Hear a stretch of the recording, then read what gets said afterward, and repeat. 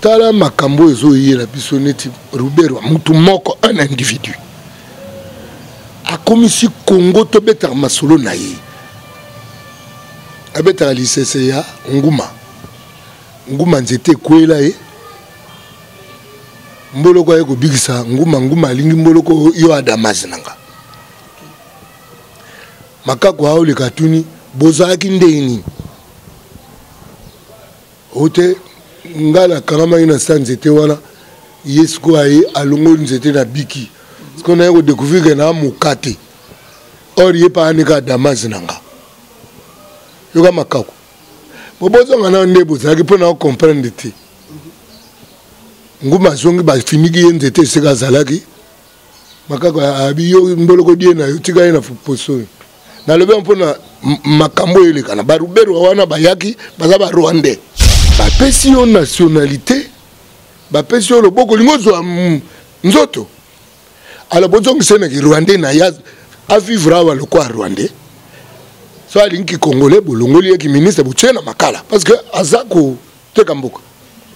c'est pas parce que omibengi nkombo serviteur de dieu que dieu ayebi yo nde mona bahonorable na baexcellence ya miyibi ese soki omibengi honorable est ce que comportement no ezala na honneur ese soki omibengi excellence est ce que comportement no yango wana ya excellence ce n'est pas différent na bato bamibengi basaleli na nzambe est ce que basalela nzambe eza bango nyonso to babengaka ngai maître maître nde mokoya na yebisa bango nayebi bino misu na bakenda nayebi bino te mais ebele awa baza bongo bino nde boya na miso mais bokomona te eza na baeglize mosusu na bakisasa nakokota te donc veut dire mieux vaut na pembe ne kala nabeti bankoi na ngai ke nakota na baeglize mosusu awa ouais parce que naudie bare nadie bare temps eza neti okeluka coordonne na boulangerie soki oza na masolo ya sapatu kende pa coordonne soki okende na boulangerie eya masolo ya mapa kokenda koluka nzambe na baeglize ebele ebele bomonaka oyo te ya magablo ya bajo wana lobaka oye pasta eh, natiki mabonza oyo olingaka nga akeluka nzambe Bon, na écran euh, prophétique ya pasteur Denis Lessi amonaki que euh, Raïs Kabange akozonga lisusu na pouvoir na Congo. Nayebi te prophétie wana euh, Jean Kubalio o analyse yango comment et puis o recevoir yango ndenge nini? Wa bandoto na ye. So yo yo bolingo benga prophétie wana yo.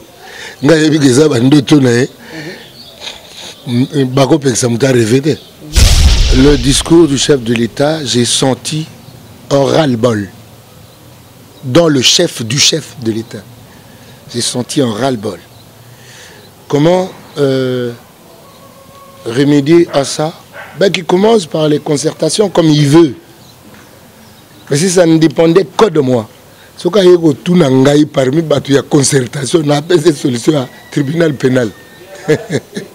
eh, parce que bato wana baza na objectif kokale ye na action me bato oyo baokale yo na action bato yango yo ozoprotege ba non seulement na mitifi kaka awa bana bamitifi na mokili baparti ebele bepekisi tika bango tika bango yo olingi okima bawa bendo na ciba bazongisa nsima mpo tokokana ni acrabe balingi moto abima te soki olingi obima babendi yo bawa diembelu le mosusu kutu so mbati elongwe ma obima su te mpo mbati elongwe me bato wana yo oza na posibilité ya kokaboana na bango Chef de l'etat nayebi te soki okobenga ngai tosolola ngai na oyebisa boye so kilo eleki tribunal penal international abupia bon bandeko bosabone na chaîne euh, jisempadi video tv nakanisi bobanda ozwa ba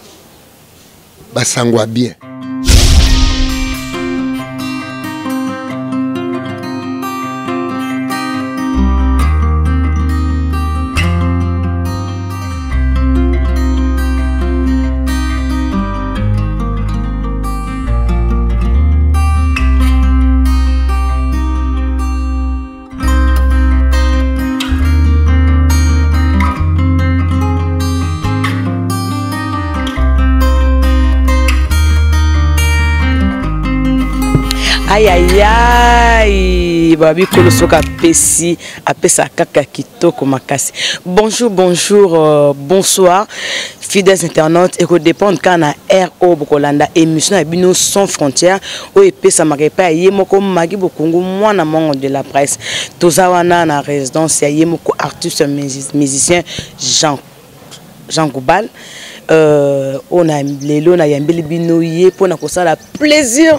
na bino nyonso babone ya jc mpadi video tv en tout cas bosabone bosabone massivement Oui voilà, euh, naza déjà na plateau na invité na ngai euh, l'artiste musicien Jean Koubal oyo tokomeka mpe kosola na de cœur ouvert par rapport ya ya mosala na ye ya métier na ye ya parcours na ye euh, là j'ai dit euh, bonjour euh, Jean Koubal bonjour maman Maggie boni santé oui ça va ça va euh, jean kobal euh, eloko vraiment esali que naluka vraiment nayamba yo mpo na album ya norme nalingaki mpe nayeba pourquoi opesaki album wana nkombo ya norme puisque batitres ebele tozomona bamisien mosusu bazotya batya tanso bangwasuma bakibwisa mais jean koubal atye titre album na ye norme pourquoi norme euh, miziki mpe ezoboma mboka yango oyoki batitre opesi wana mhm. ya batitre moko deja yango moko eza loyenge mboka lokola congo tokokumba yango na loyenge te me congo ezokumbama na bapoliticien ya loyenge bakoteli loyenge wapi na miziki bakoteli loyenge wapi na religion na mangomba bakoteli loyenge wapi na bino bato ya presse ao bango moko bapolitike bakomi mpe loyenge ndenge euh, professeur kamana alobaka imbécilisation collective du congolais par la presse la religion la politique mais surtout la musique na kati na ngai nalobaka qui tue par l'épée périt par l'épée nasalaka inverse na yango sikoyo lokola congo ekufela na miziki il faut eloko ekobikisa yango ekosekwisa yango ezala ka miziki yanga na omona nga namipesaka mingimingi na miziki ya kolamusa esprit kolamusa conscience na norme na bi norme un pays enorme bato balula forme banani bayeli bato forme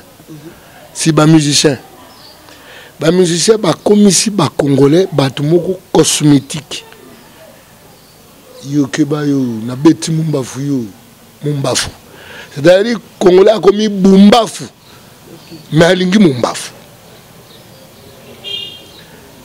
tala makambo oyo ezoyela biso neti ruberwa motu moko un individu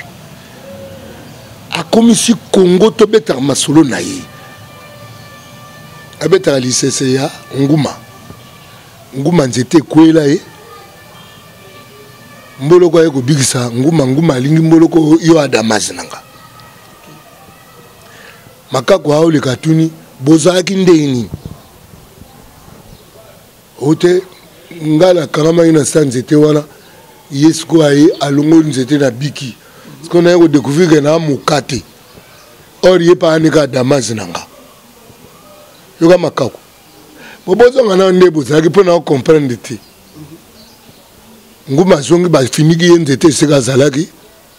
makako abi yo mboloko die na yo tika ye na poso nalobi yango mpona makambo oyo elekana baruberwa wana bayaki baza barwandais bapesi yo nationalité bapesi yo loboko olingi ozwa nzoto alors bozongisa na kirwandais na ya avivre awa lokwa rwandais so alingi kikongole bolongoli ye kiministre botye na makala parce que aza ko teka mboka me nazo comprendre te bazobondela ye nani nayoka mpe te ko eh, abakisi mayele na gouvernement nayokaka kaka akenda ministre ya décentralisation cope ne ya décentralisation kokatakata kofabrike minembwe nga benga ye ministre ya balkanisation mais nde nini congolais tobanda olela mpo na un individu ani mpe kutu congolais mobimba te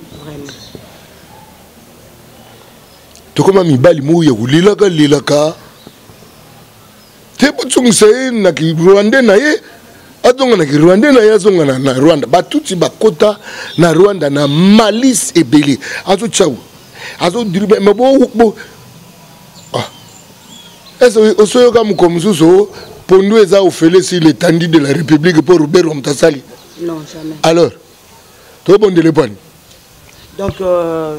album ya norme eza plus oza vraiment kolamusa population oza kolamusa mpona bapopulation bazala éveille mpo na makambo ya politike biso ndenge eza vraiment kokende kaka politike te congolais fo alamuka parce que congo ya mboka mo trop riche alors so biso nyonso tu tokomi bato ya mombafu mombafu yango mpe eza bilamba totonga kaka te seke bacouturier na biso baya botonga te bino oyo bamama na biso boboyi suki ya nzambe bolingi ya bino sikoyo lere nzambe azoya kopesa mapamboli na basi na biso ya kongo aye okuta kabelo akuti suki ya indienne bo ndeni indien ayo onginda te na kongo boboyi mapamboli ya nzambe oyoka mobali omikumisa mpo na coko c'est-à-dire okorige nzambe couleur apesa yo nyonso tu wana eza aliénation pourquoi on est aliéné parce que toza na baleader ya aliénation des musiciens majorité ya bamusicien baaliéné mpo bamikumisaka mpo na babilamba bamikumisaka mpo na idée te on ne se vante pas pour une pensée positive on se vante mpo na bilamba mangala moko neti mwasi mwasi nde nzoto mobali mobali nde poche on va vivre avec un peuple comme ça Voilà. Merci beaucoup euh, Jean Koubal. ntango tozoki ntango olobi makambo ya bamusicien par rapport ya bamako bazoyemba est ce que euh, etoke musicien congolais il y a aussi de musicien oyo baza mpe euh, vocalise na idée na yo awa na rdc kobanga no te baza karma pa ye wana ayembeli ah, mama ye moto salite ya ndenge wana moninga ayemba te oyo oh, te bakoma okanga karma pa c'est-à-dire que congolais alingi mbindo na kati ya cerveau etikala yana ya de musicien oyo euh, balobaka mpo na changement yana qui encore kaka karma pa kaka na pesa exemple ya karma pat nako il faut nalukaka mhm. nayebi soki bamusicien na biso ba esprit mingi te bamusicien na biso basukaka na kokomisa euh, pornographie na musique okay. y a pas beaucoup d'esprit à brandir la chair et nos musiciens ne font que brandir la chair nazaka contre makambo wana mpo soki nakomomona kongo mombato olelela un individu lokola ruberwa pourquoi parce que esprit eya te attends badepute na biso bayebi kutu teke baka badepute bazelaka lo eutaki nga kati bino boa badepute ya congo boza badepute ya congo to ya kingakati ok euh, merci beaucoup euh, par là j'avais aussi mère zela ko merci ko pesa ba merci beaucoup te eh là na solo ba que mhm. congolais faut alamuka oui c'est-à-dire ata boyaki na ba parti politique mhm. les bato ba voter bino soki pe ba vota bino pour ba député kinga kati mingi ba vota bango te c'est une majorité ezo se complaire ezala majorité kaka na palais du peuple soki babimi libanda majorité wana ezalaka te mpo nini mpo kongola ana esprit te un individu akofabrike majorité na ye cet individu ako koloba na natiki pouvoir mais azoluka contrôler pouvoir pourquoi parce que kongola ana esprit te oyo nabengaka kebere kongola akebere ekikebele wana moto akodefisa yango kikomi bacongolais eza bamusicien bamusicien bakomisi bacongolais bakebele tala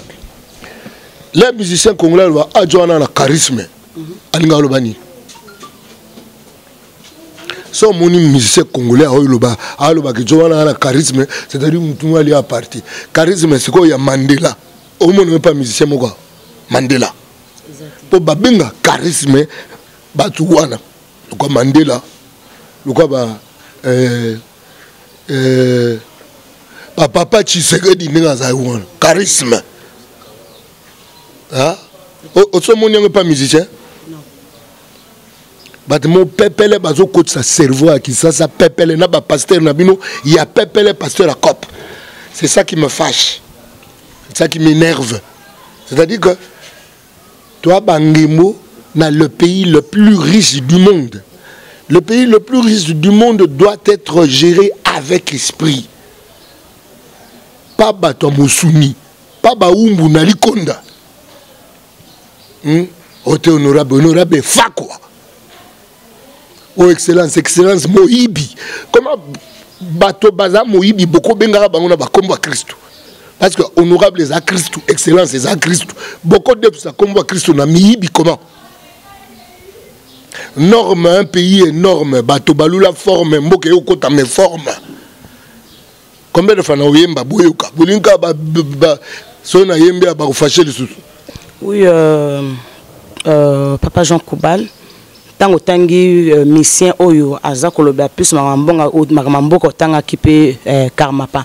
problème oyo karmapa ayembaki mpo na mama yemo réellement toyebi ke ezalaki vrai ba conditions bo plutôt na biso eza vraiment na ba norme te ka nde yo yembi na norme eza vraiment na norme te est-ce que ba réaction oyo basaki mpo na musicien oyo a interpellaki population mpo na kolamusa bango mpo na ba conditions ya ba hôpitaux eza bien te est-ce que droit de l'homme vraiment eza ko exister awa na mboka na biso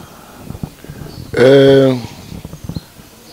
droit de l'homme mama so otaye na mabele mobimba ezala te bato basalaka effort ya kokende vers yango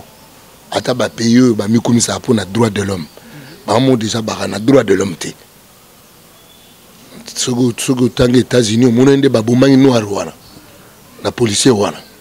so otangi bafrançais bafrançais bazokota baokotela barwandais oyo bazoya kobundisaka biso mpona bayibaka bacoltan na banini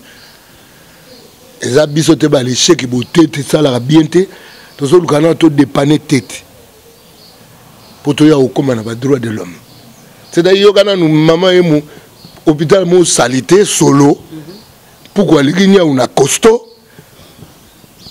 moninga azo explike bino ke hôpital ezalaka boye te karma pa a ah, mwana poto te amoni quand même nde baninga kuna bavivaka na poto aoyebisa bino ba villageois ba médecin ba villageois boyokela boyokela moninga te bokefunda ye droit de l'homme tosala effort tokóma kuna me mokili oyeba penapena droit de l'homme mokolo kristu ye moko oya loka mpe kongo eza mboka moko kristu ye moko aozwa makambo nango omona bokesani euh, réaction ya bino bamisien ezalaki nini est ce que bosanganaki mpona ko, ko, kotelemela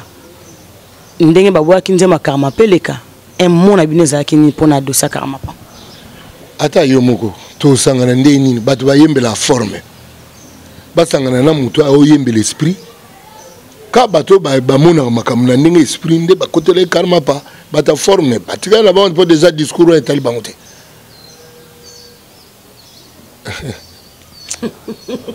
par là nazomona euh, jean koubal na même na norme oza tout le temps kokondamne baserviteur de dieu Jean Koubal, problème nini oza nango na ba serviteurs de Dieu baza pe parmi bateau bazo conduire Congo na erreur ou comment na bongiselo na lisolo na condamné te nazo observer epe bato yo ozobenga baserviteur de dieu wana eze dieu ayebi bango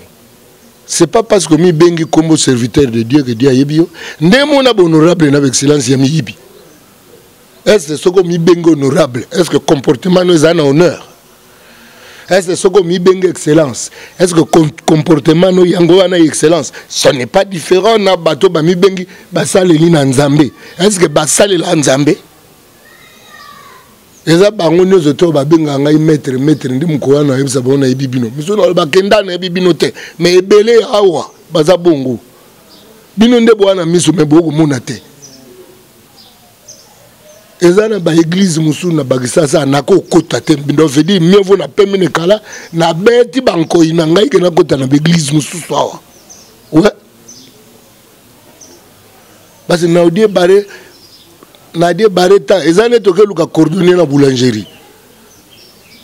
soki oza na masolo ya sapatu kende pa coordonne soki okende na boulangerie eya masolo ya mapa kokenda koluka nzambe na baeglize ebele ebele bomonaka oyo te ya magablo ya bajo wana lobaka oye pasta natiki mabonza oyo olingaka nga akeluka nzambe bon na écran euh, prophétique ya pasteur denis lesi amonaki que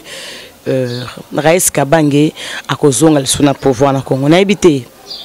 prophétie wana euh, Jean Koubal yo o analyser yango comment et puis o recevoir yango ndenge nini wa ba ndoto na ye so yo yo bolingo benga ko prophétie wana yo nga yebi ke eza ba ndoto na ye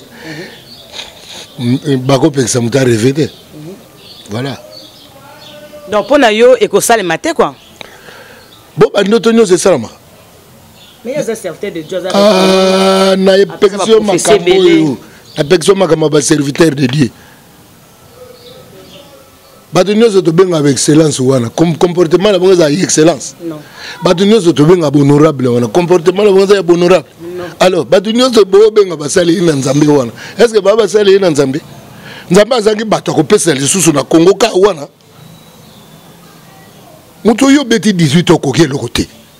bakozongisa elo nini en fait okoki eloko te te yokake basoda ba mosusu na bafuta bango na bambongo na biso ya congo basoda ya, ya, ya tanzanie bino boza na basoda na bino baya na nzala awa mm -hmm. ye wana nzambe alingi azongisela bino loba bakisa punition kasi soki nzambe alingi abangisa punition azongisa ye en tout cas bosabone bosabone massivement na gcm padi video tv bosabone vraiment massivement euh, na profite mpona koremercie baobi euh, mon cordon oyo aza nsima ya caméra abi ye moko vraiment mon cordon besisa na nsima ya caméra et pourquoi pas mon boss euh, gcm padi video eh motema ya Nicoletta Moda donc euh, bon continuer vraiment vraiment vraiment ko s'abonner euh, massivement pour babi awa nde makambo ya boye vraiment et zalaka euh, Messi Jean Koubal olobi que 18 ans batika kosala eloko te mais aujourd'hui euh, gouvernement mosusu eye deux ans yango oyo gratuité des écoles on a remarqué que année oyo jusque là bana baotanga nanu te mpo ya nini baenseignant baza na grève gratuité d'enseignement eza réussite ou bien eza échec fatina na bandi oréussir te akabwana na bato ne wana donc échec na ye eza par rapport ya bato azotravaille na bango me bato bazwi expérience ya bechec pendant 18 ans okesanga na bango mpo bozwa bénéfice bozwa bénéfice wapi bango baa bamaître na échec yosanga na bango mpo ozwa réussite akabwana na bango akoki komona baréussite ebandi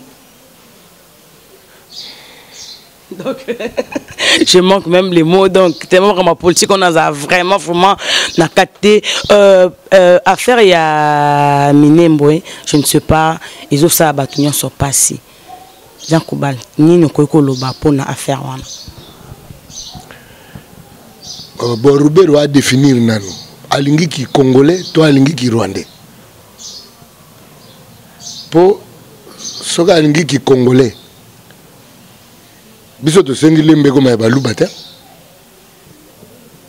tolimbe te ekoma ya baluba tosengi yango te fedi le nadiaka bakrake na ngai na bandundu nakende osenga te ko eh, komini moko na bandundu ekoma ya baluba te soki olingi kikongole zala nanu na kikongole soki olingi rwandais zongisa longwa nanu na gouvernement ya bakongole au fait bango baruberwa bazwi la eh, nationalité ndenge nini bayaki na minduki bayaki na minduki kotika kabila tata armée nyonso kabila tata akotaki nango majorité ezali barwandais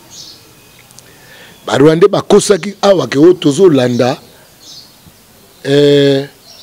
binemi na biso oyo baa na congo effectivement baboma bahutu ba, ba ebele awa me lokola bango balingaka makila bakoma oprofite babomaka bato na, na este kuna bakotisa bandeko na bango bon lokola communauté internationale ayokelaka bango mawa soa te e biso toza minorité balingi biso te ale communauté akoteli bango alors yango balingi bazwa mabele nde bazwa minembwe wana bakotisi kotisi ndeko na bango bawuta mpe bawuta bisika ebele kokanisa teke bandeko na bango wana bawuta epuis nyonso tu wana c'est-à-dire ndombolo ekota biso na cerveau tozomona te eza ya débat moko tokoka kosala yango te tokosala badébat oyo te ya baminembwe c'est-à-dire eza dose ya ndombolo ekoti na cerveau otali mpe ndenge bato badiscutele na parlement eh, depute wana oyo moindo kola azala na ye kola batela ye nazo félicité voilà un homme il pense par lui-même aza na autonomie ya pensée azela te bakanisela ye na kingakati te ye azomikanisela na kati na ye kingakati te na kati oyo ya ye moko voilà un humain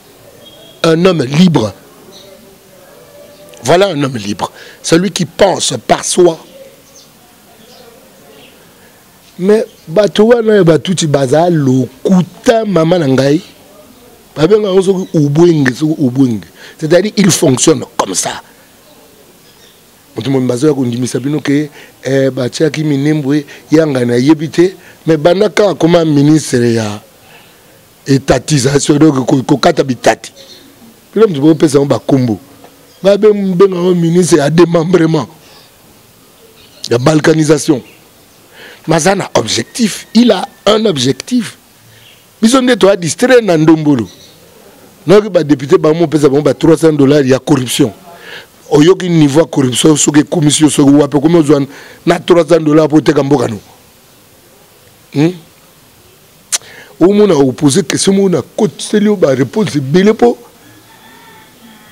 en fait la vraie réponse eza na kati ya investir dans l'humain c'est-à-dire kolongola congolais na boniama kokomisa congolais moto moto aza ekelamu oyo ezalaka na dignité ya moto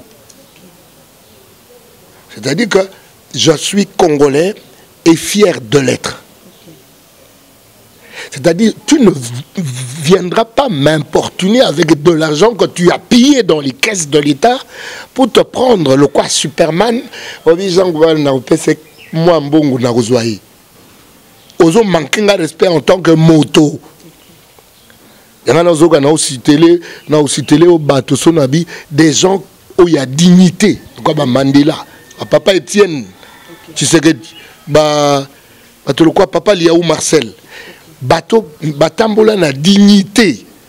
baprix mangondo nyonso tute oyo basombaka sombaka bango awa mwana moto alati kazaka na kati ya jipa molili bien bien bien climatise moniato moto mokie prima ngondo bakosomba ye Oui, apparemment, euh, Jacques Koubal, aux appuis, vous apprendre trop trop na ba na ba député euh nena ba est-ce que euh, des chances na yo pendant l'élection ezalaki manque ya ya propagande ou bien ezalaki triqué mpo apparemment oza vraiment na méchant ya badepute wana vraiment makasi non non naa na méchant ya motu te naa na méchant ya buzoba mm -hmm. c'est vrai fcc ba, ba, ba. bayibaki mbongo na ntango na bango basombisombi babata fcc ebele baza bavota ba, ba, ba bango te je ne m'en prends pas à ce petit fait là hein?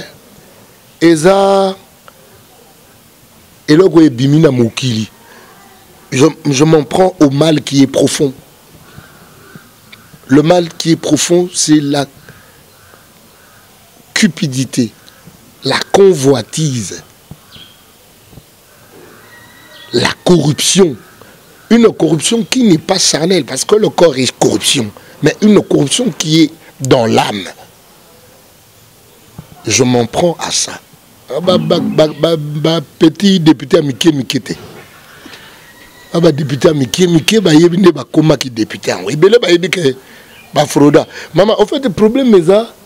ngai na bango te bango moto na moto aa na problème na conscience na ye alors soki nde baza wana conscience eyebisa bango te se baa bibembe ya na martel fayulu toloba lamuka yango na na didie mumengi toloba tosekwa le congo ne peut pas être dirigé par des morts Le Congo doit être dirigé par des vivants. Donc, méchant na ngai ezala na baindividu te bamikie trop méchant na ngai eza contre mbeba oyo bapermettre ekota bango ata ndenge nakoyanduka boye je ne le ai point nalingi bango mais nalingi mbeba na bango te Maman, zana ya nduka te. Eza na eteni moko te ya mabele oyo Nzambe akela ezala na nkita lokwa Congo. Alors mpo na kogarde nkita wana tema bavoisin baotala biso misu mabe, il faut biso moko tozala instruit. Instruction eza somme ya education instruction sikoyo na bonzambe ya solo bonzambe ya bapri mangondo te toya bapaster ebele baya bapri mangondo batekisaka nkombo eh, batekisa yango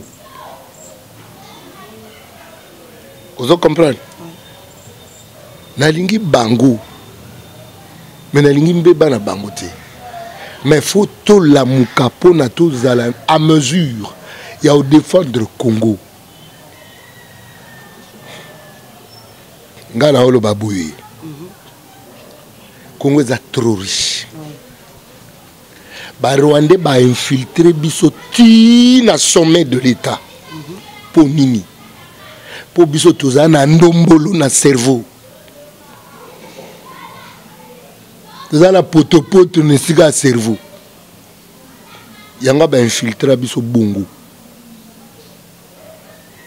ale bato bainfiltre biso yango eza barwande bamibenga nazare congolais yo moko ozokoka na komibenga congolais te eh?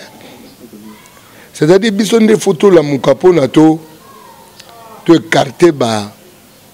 baespion wana c'est des espions bana kombo mosusu te D'abord balingi bazwa nationalité moko mboka na bango mobimba olingi okoti ofele c'est-à-dire soki oye kaka awa omipesi komo nyamurenge okomi congolais ante eza bino banyamurenge bokomela congolais wapi na ebosi mai minduki boye otika kabila maintenant euh, euh, jean koubal nini oyo ekoki kosala ke lelo eh, mariage ya fcc na udps euh, euh, epandana puisque jusque là question mwana pozaki oyebi ke fo akabwa na bango étant que congolais étant que combattant ya, ya nation nini oyo okoki koconseille na bato banda biso badepute nani otangi bakoma wana qu'est ce qu'il faut faire pour que mariage wana international du congo rapport mapping oyo batiango kaka na mesa bakabwana bango baya na mbeba bato ebele baya na kati kuna eh, bana bambeba ebele so basalaka tribunal pénal international du congo bakabwana euh, mpo na dossier ya, ya vital, ya vital camere selon le rumeur ndenge aza na centre nganda eza kaka procédure ya libération provisoire na ye nayebi te na dossier wana nini okoki koyeba mpo na dossier wana naloba nini dossier se ekoma na maboka ba, ya bajuge na ba na, na batribunaux ngai nakoloba nini mama eh? bino moto bosala jeu na betat de droit eh? bozala na chance ya kozala ete eh, chance te bozwa jean goubal chef de l'état mwa moke bomeka ye oyo akuta oh, pire masta ne wana atya ye na cap eh, noko ne wana nata bandeko na nga te mpo biso na famille tokola na miyibi te mhm. eh, na famille tokola moyibi te biso na famille tobanga likonda te eh, mais oh, neti ngai boye chef de l'état abobo bokanga mibele hmm. omonaki te ke yango wana mpe basalaki mpe mwa tricage na, na baélection mpo bayebi ke oza moto ya mbeko soki bapesi poste seke eza otya baocoince bango vraiment soki basalaki tricage tricage esila te esila batiaka batiela biso ka tribunal pénal inter eh, du congo baaplike rapport wana mapingo wana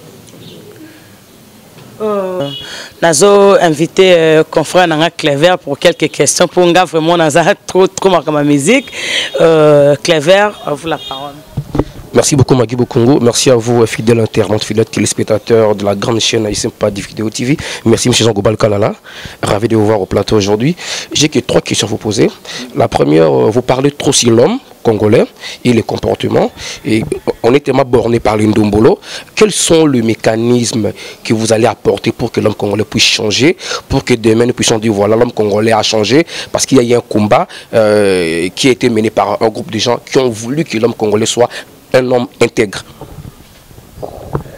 euh, La première des choses, c'est ce que je suis en train de, de dire. Quand on parle,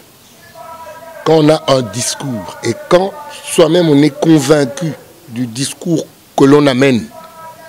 il y a des gens qui s'intéressent.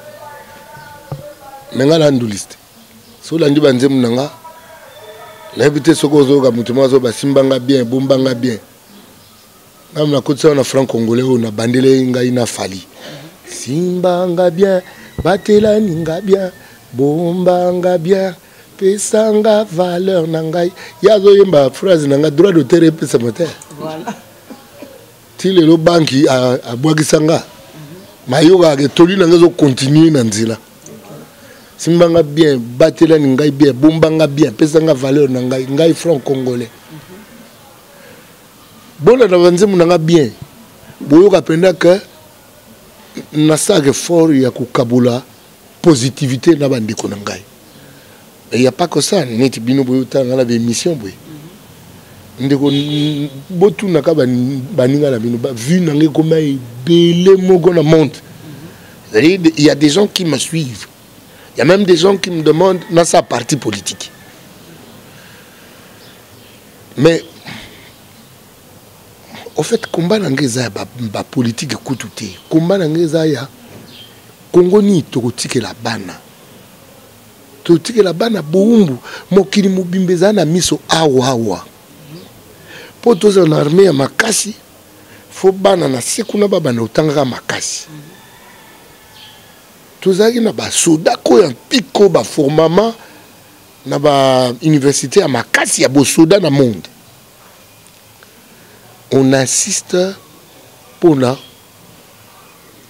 formation ya moto moto ye moko azala na souci ya komiforme bato batangaka te soki deja baministre bakomi otriche mpona kozwa diplome bato baza sense kopesa exemple na mboka bango moko deja baa batricheur mboka eza makasi ndenge nini la force ya mboka eza instruction ya bana ne effort na ngai yango wana et dans cet effort nayebi ke toya mwa bato ebele il y a des groupes oyo euh, ça, ça révolte Et nga personnellement na saka moi ba conférence na ba jeunes pona ko kolamusa bango. Je fais des conférences. Mais ça ne suffit pas, il faut euh, tout comme à moi belé pour na to to me kotombo les gens se moquent de nous libanda. yango lelo mosusu yo ozokanisa ke naza contre badepute mais soki depute yango adongi lelo abima libanda asola na baninga depute bopesa nga nkombo ya mm, garso oyo nakumisi ya depute oyo wana nakumi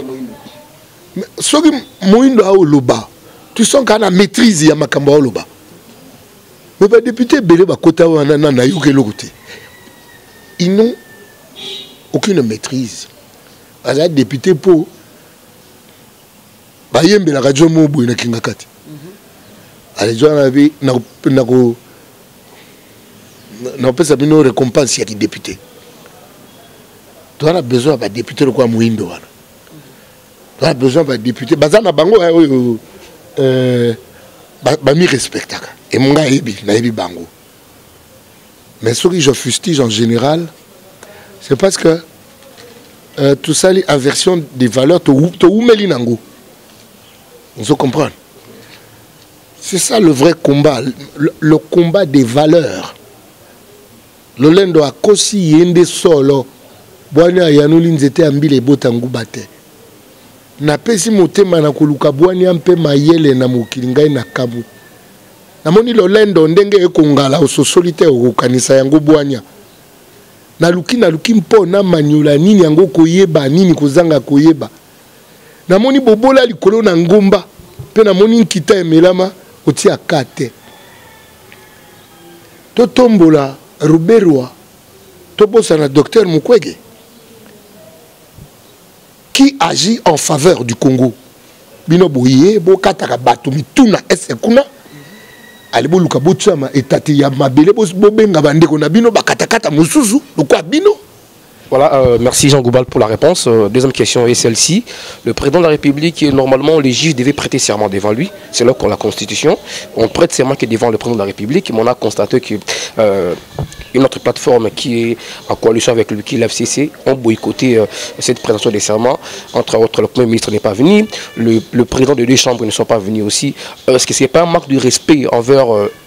euh, le président qui est une institution. Le président aussi, euh, déjà les gens avaient compris qu'il y avait une crise. On l'attendait, euh, selon euh, le raisonnement ou les réflexions de certaines personnes congolaises qui se disaient le président devait normalement dissoudre l'Assemblée, mais il est sorti par une autre porte, par un autre chemin pour donner un discours. comment appréciez-vous d'abord ce comportement des gens de l'FCC et on peut appeler ça la sagesse ou l'intelligence du président de la République euh, ça, c'est un comportement des gens qui sont aveuglés. Il n'y a pas que ces concertations comme un moyen pour euh, juguler cette crise qu'ils veulent instaurer dans le pays. Il y a le tribunal dont j'ai parlé tantôt, tribunal pénal international du Congo.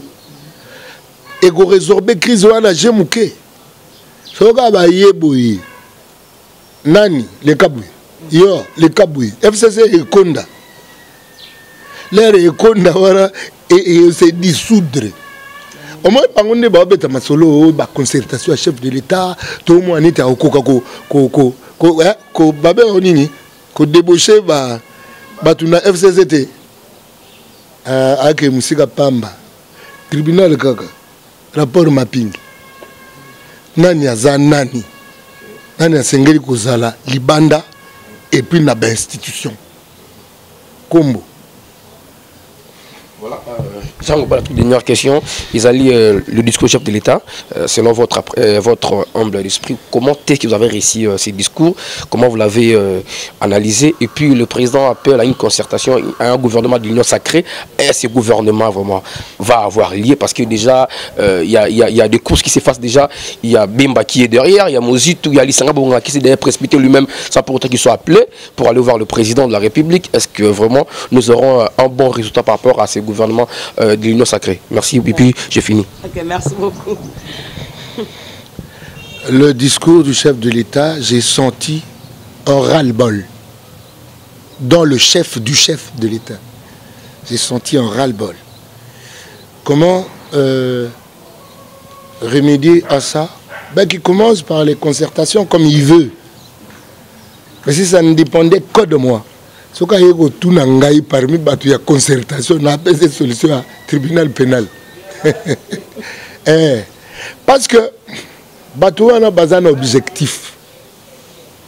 kokale ye na action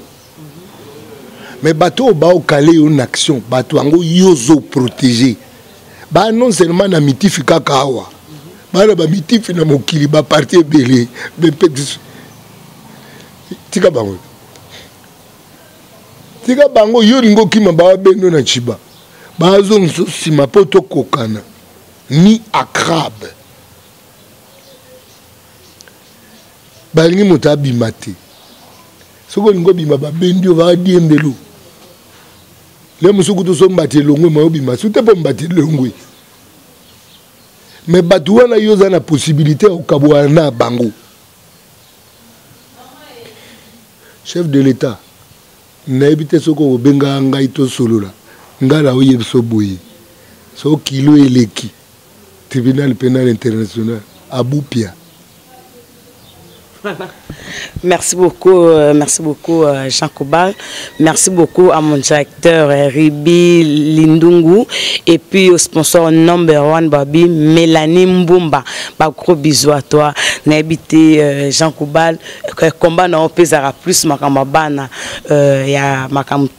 plus plus ya bana euh, est-ce que droit de l'enfant vraiment a na mboka na biso existaka vraiment mpo na nzembo ya bayibi ngai bomwana on a vu comment est-ce que bana bazalaki basimbisa bango baminduki mais ti lelo tozo remarke ke exploitation ya bana eza toujours kocontinue kosalama a na mboka na biso congo nayebi te nini okoki koloba mama eh, tokende epai tozonga epai mokolo mokili eza nkolo toza na baproblème ebele na mokili mpo tokotunaka ye te nkolo tosala boni nazongeli suka norme na norme na bi eh, yave atia mayele kati ya moto mpo ete moke moke asosola molongo kati ya molongo atia bakode nyonso ya la vie observer la nature vous comprendrez les choses de l'esprit Atia mobeko monene bolingo. Olingi ye, okotambola bongo.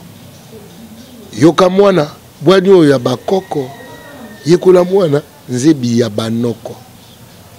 Nzambe oyo akela biso atie mobeko.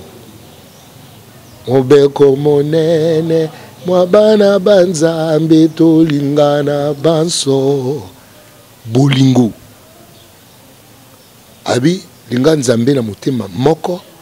linga moninga lokola okomilinga yo mpenza kasi linga nzambe wana mobeko wana ese fondre na oyo alinga moninga mpo yo nzambe okomona ye te okolinga eboni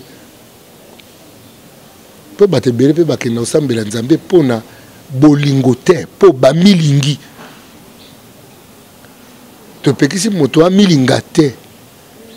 oya komizinga na kati ya milinga pamba milinga eh. me tala mpe moninga lokola yo mpenza olinga ye bongo mpo nini akeno kuna obeti lisolo ya bana nayemba makambo ya bana me nini ye koyembisa nga makambo ya bana bolingo boni boni okolinga bana bongo boya baboti ba bango boni boni yo mokonzi okoboma baboti ya bana nzala omikumisa te olingaka bana boni boni yo mokonzi obomi bato nzala ozwi mbongo na bango otie yango na poshi na yo lobi oye kokaba obi naza motema malamu mbongo oyiba bango obomi bango na nzala bakomi na bosenga oye kokabela bango mbongo efale ezalaka ofuta bango wapi bolingo na yo bato bayaka kosala makabo na tv balakisa bolingo na bango na tv mponi balakisa bolingo na bango te na misala futa moto mpata na ye aza indépendant donc kolinga bana mama esenga omata likolo ti okekutana na mobeko ya nkolo nga moninga lokola okomilinga yo mpenza sika osala examen na yo na kati ontei ya yo sala examen ontei ya yo est ce que ozala na bolingo wana naseki naseki le na bi examine oyebi mpo nini aseki namona neti nkombo kiziamina euta na examina etali bakoko bakoka koprononce examina te ale babi kiziamina ale nkombo ebimi omoni mone mutu nanga ezalaka bongo naosolola koto makanisi efile e, e, mais kolinga bana eza kotia batata na kotia baboti na bango na condition ya kopesa bango bolingo na bango qui va aimer l'enfant mieux que ses parents alors yo soki ozala na bokonzi soki olingi bana tia baboti ba, ba bango na condition ya kobokolo bango malamu euh, travail philosophie mon travail il philo a porté sur euh, une éthique environnementale responsable c'est-à-dire que l'homme fait partie de l'environnement de l'homme Et cet environnement de, de ya, ya nature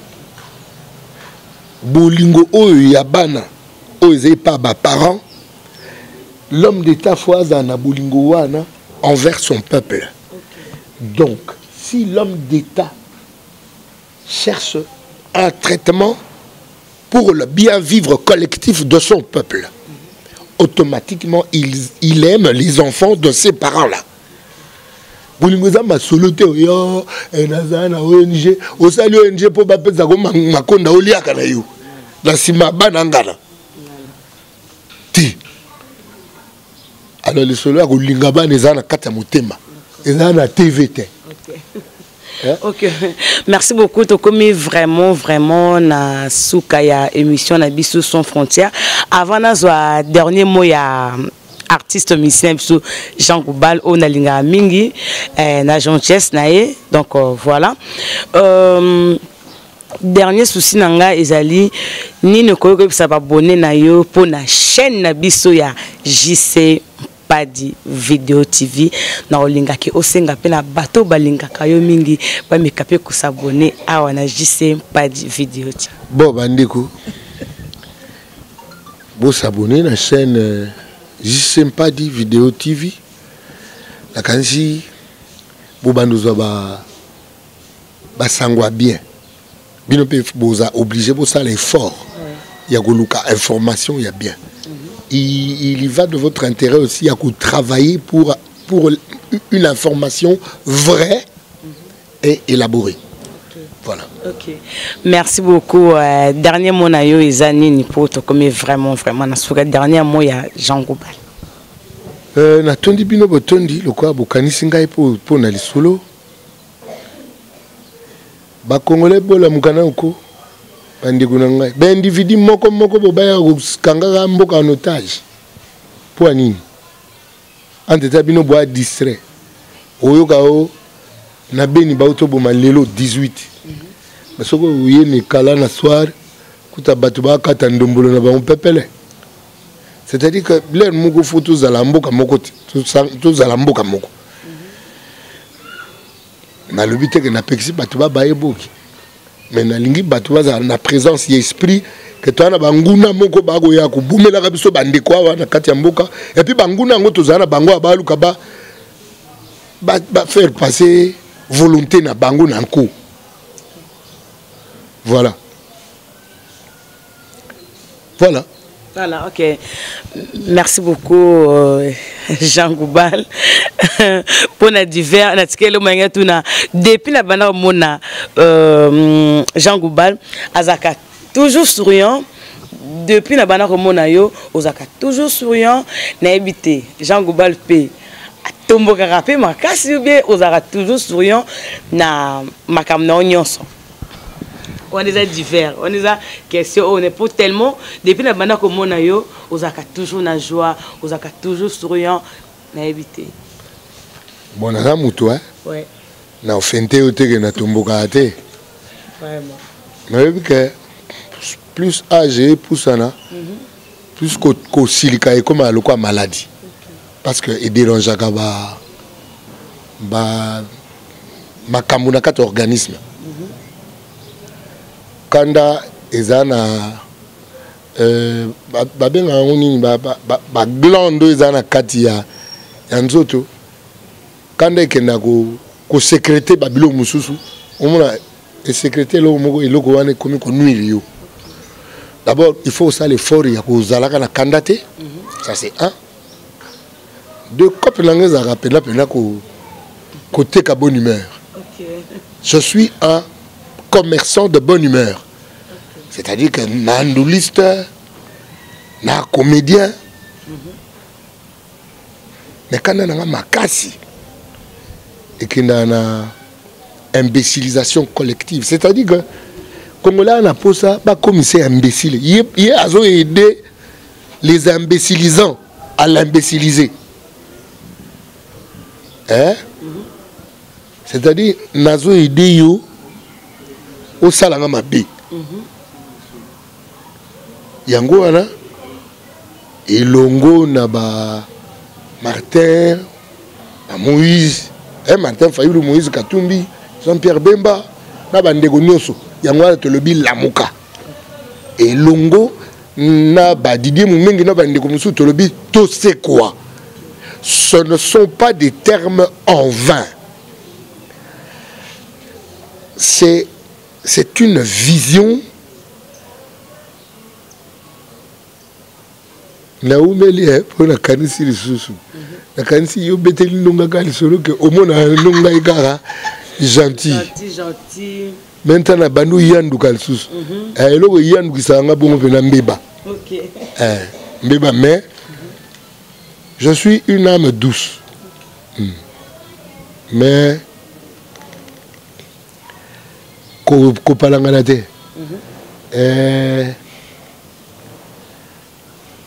nazala na motema lemo lokola moïse oye moïse abomaki égyptien akundi ye na zelo mais mhm. mosala eye na nzambe naka na motema wana quand il s'agit d'un mes frères congolais euh, nazala na mawa bato te yadika soki oza na mposa ya korespecte mpo na nga nde ozomona ngawa baindien bachinois balibane nde bakanakisa soki mpo na ngai soki oye na kilibanais za na respect mais congolais kuta mona yango te nayoka peke magablo mosusu ya baindien ezalaka na bavile wana bato bafarataka na basachet ate bato ya bongo ngai na bokonzi boke na lelo lelo lelo avion otiki tout c'est-à-dire que quand il s'agit de mes frères et sœurs du congo soki ozala na besoin ya nationalité yaka na respect si tu veux t'imposer avec motema mbindo toyebili nango bino awala boya okuta eh, moïse eh, bokuta moïse mena na tafuni oyo na kundo na zelo eh, c'est-à-dire que bolingo na ngai ya liboso na ngai na bankolo me nkolo nayeba mpe mpenza te so nalingaka nkolo ah, me ye nayebi ke ye nde alingaka nga ah eh. nayeba mpenza mpenza te so nalingaka ye puis bo alakisa nga nde nini nakolinga ye ngaa moto alokuta te omoni ta pierre ayebisaki kristo eh? abi kristu ngai na kolanda yo bisika nyonso kristu kristu atali abe sia ta bapierre lelo owangana nga trois fois moto akoloba te ke nalingi nzambe po moto oyo okomona okolinge te bo nzambe oyo okomona te olinge boni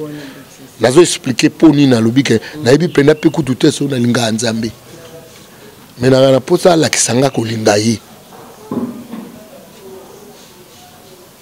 na ndolo ba bolingo na ngai ya liboso bon nazongisi ya nkolo et puis famille na ngai masta na ngai et puis finalement congo congo ya bolingo na ngai mpo ya nini nayebi te mpo nini nzambe asala ngai congolais nayebi mpo nini te nzambe atia ngai awa ngai na azara bato nakochange nationalité te te c'est-à-dire na ko respecter nzambe na nationalité apesa nga ngai nakoki kochanger nationalité te mais bino bachangi boya malembe a ah, bokimi mokate epai na bino boye okoma congolais mais koma yango na malembe tata eh, paster oyo ekofo alobaki boya na kozuaka bitati soki lelo te tosali yango lelo te bana oyo ya bana basalaka yango kongola ya distrait bakomi omonela biso na ba bamboka mo boye ya mikie mikie bible elobela congolais peuple redoutable depuis qu'il existe ce peuple redoutable aujourd'hui il est un peu endormi mais kopalangana te kopalangana te oya okota na kati ya peuple redoutable obanda kosekana na ye ntango ya kofutumuka atafula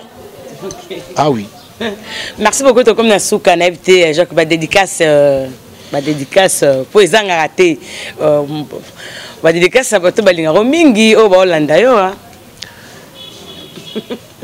libanga spécial na bana congo nde eloko aloba ya pascal loko akanza mhm. ah,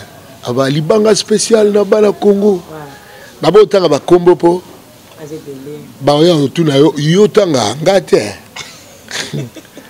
alo bango bamikuta mhm. na kati ya libanga spécial ya bana congo zala na betelo histoire moko ya le petit prince petit prince aye okutana na antoine de saint exupéry ayebisi dessine moi un mouton antoine adesinele ye mouton ya liboso petit prince atali mouton abia o oh, mouton na yo abien ah, te antoine adesinele ye deuxième mouton ah, mais mouton na yo oyo aza maladi antoine adesinele ekesi abi omoni moto na yo ozoluka awa na kati wana libanga spécial na bana congo libanga oyo ozoluka wana eya na kati wana merci beaucoup en tout cas merci beaucoup merci beaucoup à jean goubal mpona euh, temps na yo merci beaucoup na bainternaute nyonso oyo balandaka émission sans frontière epesana epai ya magi bokungu mwana mongo de la presse merci beaucoup à mon vieux eh, ridi tunga depuis londres babi ye mpe abundaka mpona mboka congo pourquoi pas beni toko tokologie depuis paris et pourquoi pas mon vieux dago bicente bagros bisu na bino nyonso nabosani te euh, clever clever euh, confrère na ngai oyo accompagnaki ngai bocomprendre ke ngai vraiment politique politique vraiment nakoka yango te mais je vais faire un effort mpona bino babone na biso ya jcm pas du video tv en tout cas bosabone bosabone bagros bisu na bino nyonso ciao